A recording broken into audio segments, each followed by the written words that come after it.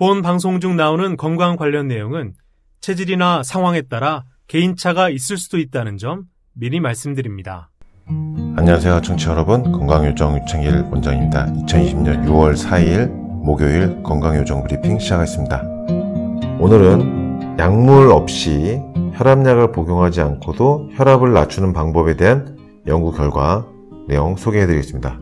한 연구팀이 개발한 혈압을 낮추는 프로그램인데요 약물을 사용하지 않고 혈압을 낮추는 식이요법, 운동, 수면 2주간 시행하는 것입니다. 미국 미시간주의 앤드류 대학교의 공중보건 영양학과 교수 알프레드 메지아 교수 팀이 운영하는 프로그램이 있는데요. New Start Lifestyle 프로그램인데 이 프로그램에 참여하게 되면요. 주로 과일과 채소, 콩류, 곡물, 씨앗, 견과류 같은 어, 채식 위주의 식물성 식품으로 섭취를 하면서 2주간 프로그램에 참여를 하는 것입니다.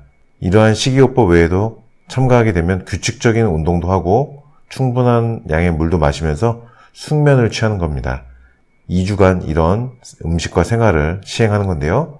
이 메지아 박사팀은 미국 영양학회 연례 세미나학회에서 이 프로그램에 고혈압 환자 117명을 참여시킨 연구 결과를 발표했습니다. 2주간 프로그램에 참여했던 고혈압 환자분들은 이 프로그램을 마친 2주 후에 참가자 중에서 절반은 혈압이 정상 범위로 회복되었고요. 나머지 절반에서도 원래의 혈압보다 떨어졌습니다.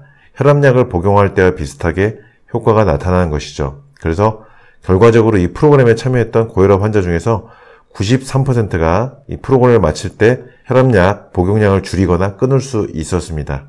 과일과 채소, 콩 종류, 곡물, 씨앗, 견과류 같은 식물성 식품, 규칙적인 운동, 충분한 양의 물을 마시고 숙면하는 것. 이 요소들이 잘 갖추어진다면 고혈압약을 복용할 확률이 줄어들 것입니다. 그리고 고혈압약을 복용하고 있다 하더라도 고혈압약을 줄이게 되거나 끊게 될 가능성이 많아지겠죠.